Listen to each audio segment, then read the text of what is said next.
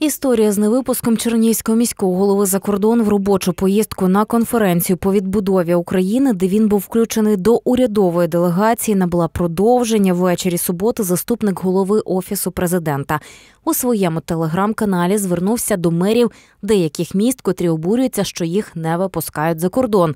Далі цитую: для тих, для кого сигнал не зрозумілий, знайдуться інші шляхи, як допомогти громадам і містам без вас. Владислава Трошенко свою чергу написав, що вражений заявою Тимошенка.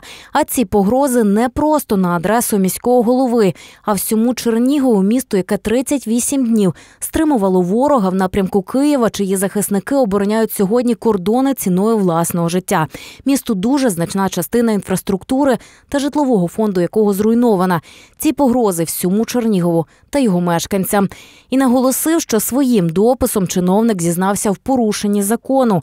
Пан чиновник розписався у перешкоджанні виконувати службові обов'язки голові прифронтового обласного центру та в зловживанні власним службовим становищем, якою б не була причина. Чернігівці здивовані та вкрай обурені таким безглуздим і безвідповідальним вчинком цього чиновника офісу президента, написав очільник Чернігова в своєму Фейсбуці. Владислава Трошенко підкреслив, що займатися вирішенням проблем громади, зокрема і пошуком ресурсів для відновлення міста після руйнувань рашистами, не його забаганка, а прямий обов'язок. І це спільна відповідальність місцевої та центральної влади.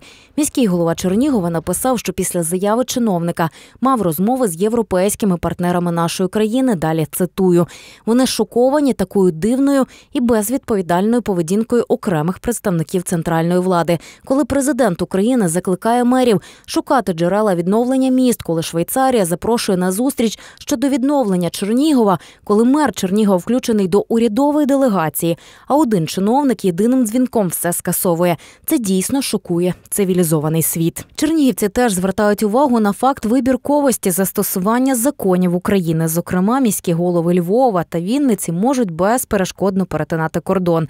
Очільник Дніпра Борис Філатов у своїх соцмережах також поділився, що раз разом з колегами на форумі у Швейцарії.